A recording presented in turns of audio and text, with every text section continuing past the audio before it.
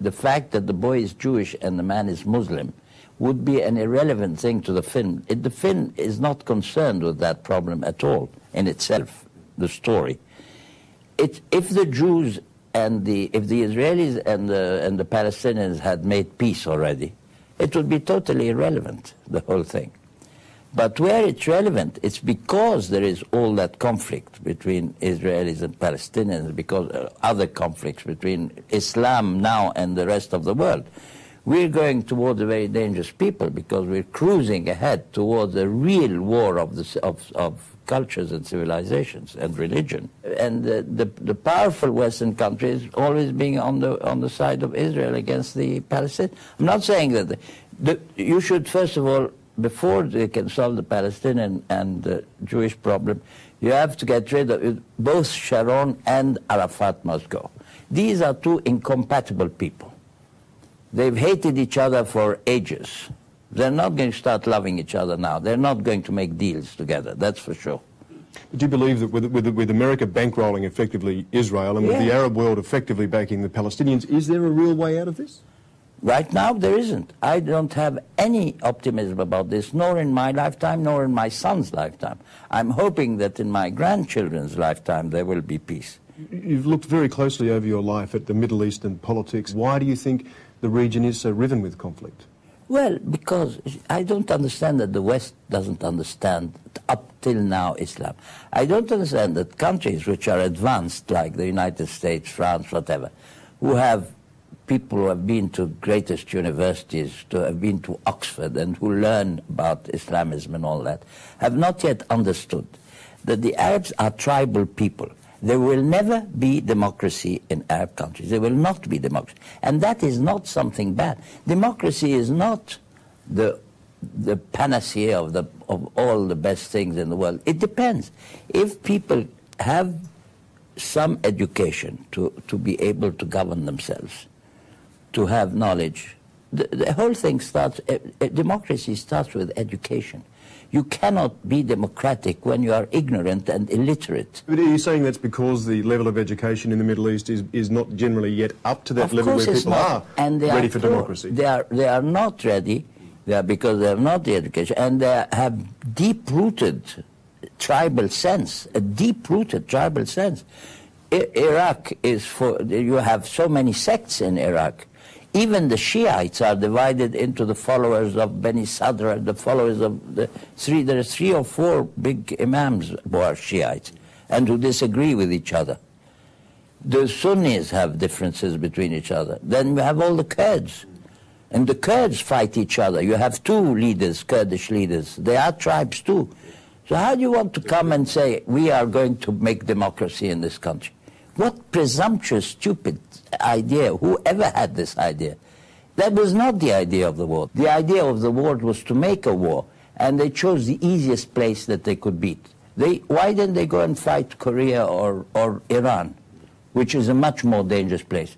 And the most dangerous place of all is Pakistan, because Pakistan, one day, it has already the nuclear arsenal. At least half the army are Islamists and they will overthrow Musharraf one day, and they will then have the atomic bomb at their disposal.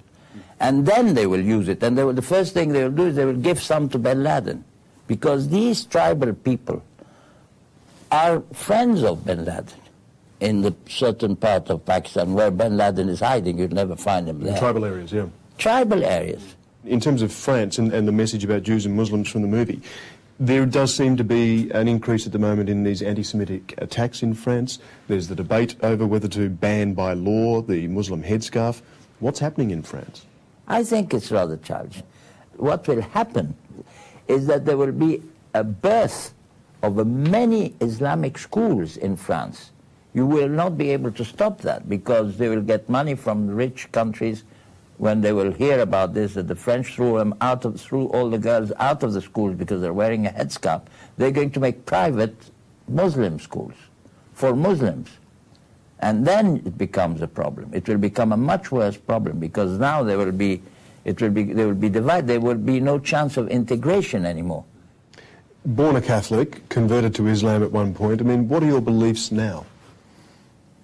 I have none that I can prove. I, I I believe in everything and in nothing. I don't disbelieve in anything. I mean, everything is possible. As far as my brain tells me, I don't believe, because I believe that God is justice. The first thing that I was taught at catechism, catechism was that God is justice. And I don't see justice in the world. I see terrible injustice. I saw my mother when on her deathbed, she just died four years ago. She's a great believer. And I sat next to her 15 days. Well, she suffered terribly before she died. And I saw what relief she got from believing, from calling the Virgin Mary, from calling Jesus Christ to her help, from call, calling St. Anthony of Padua, who was her saint, favorite saint. It relieved her pain. And I used to think, what shall I say on my deathbed? Who shall I call for help? And I decided that I would call my mother for help. That's what I said. I'd say, Mother, come and get me, wherever you are. the great passions, the big passions of your life, uh, the gambling. I never had a passion, nor for gambling, nor for anything else. Horses a little bit, and that was the only passion, and my work.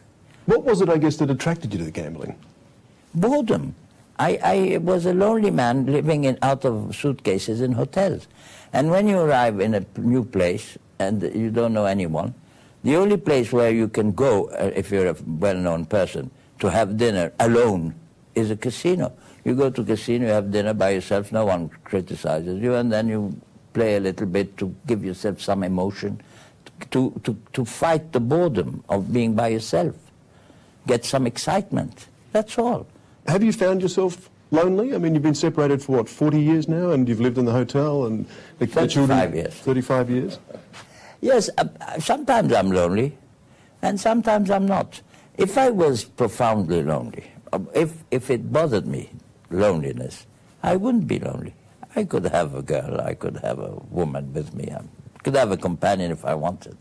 I wouldn't want someone to come and interfere with my my relationship with my friends and my, my which wine she wants uh, as opposed to which one I want. I'm happy. You're now almost 72. What is important to you now in life? My family. I have not given, I think, enough time to my family because I was working a lot and traveling. I never worked out of a base. So my family is now my priority. Spend as much time as possible with them and if a good part comes along, to give it all my attention.